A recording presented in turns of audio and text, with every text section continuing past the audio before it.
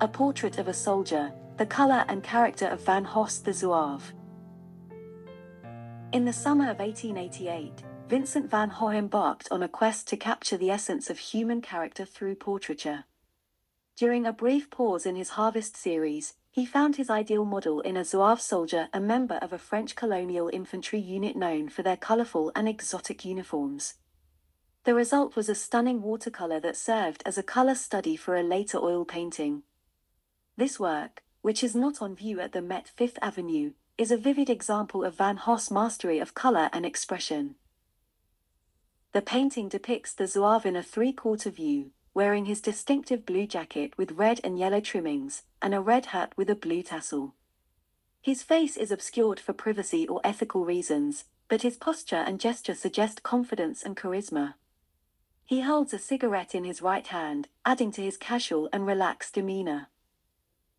Van Gogh's use of color and technique reveals his artistic vision and intention.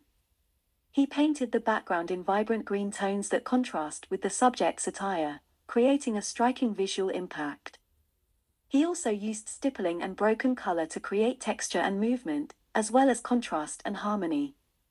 He wrote to his brother Theo, I have a model at last, a zouave, a boy with a small face, a bull neck, and the eye of the tiger. He wanted to convey the character and personality of the soldier, not just his appearance. The painting also reflects Van Gogh's admiration and friendship with his fellow artist Emile Bernard, to whom he dedicated and sent the watercolor in July 1888. He considered Bernard his comrade and shared with him his artistic ideas and aspirations.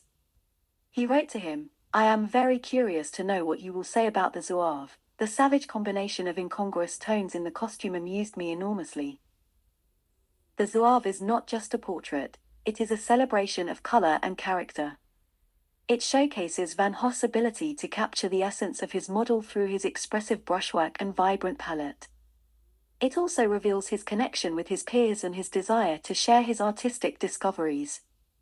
It is a painting that invites us to look beyond the surface and discover the story behind the soldier.